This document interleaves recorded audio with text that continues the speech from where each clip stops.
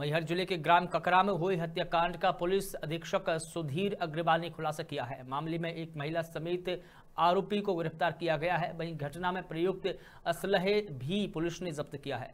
नवागत ज़िले के पुलिस अधीक्षक सुधीर अग्रवाल ने अंधे हत्याकांड का चुनावी व्यस्तता के बाद भी तीन दिनों में खुलासा कर दिया है। मामले से पर्दा उठाया है उन्होंने। ये जो आरोपी ने भी बताया है, अन्य सूत्रों से भी ये पाया ही गया है करीब दो तीन महीने पहले मृतक और आरोपी के मध्य झगड़ा हुआ था, जिसमें मृतक के द्वारा आरोपी की मारपीट की गई थी। कुछ पैसों के लेन देन और मोबाइल के लेन देन का आपसी विवाद था और इस बात को आरोपी ने मन में गांठ बाँध के रख लिया था बदला लेने के लिए। तो इस बात को लेकर के उसने एक अपनी महिला रिश्तेदार है जो घटनास्थल के पास की निवासी है। और उसके माध्यम से उसने मृतक को एंडाइजमेंट दिया।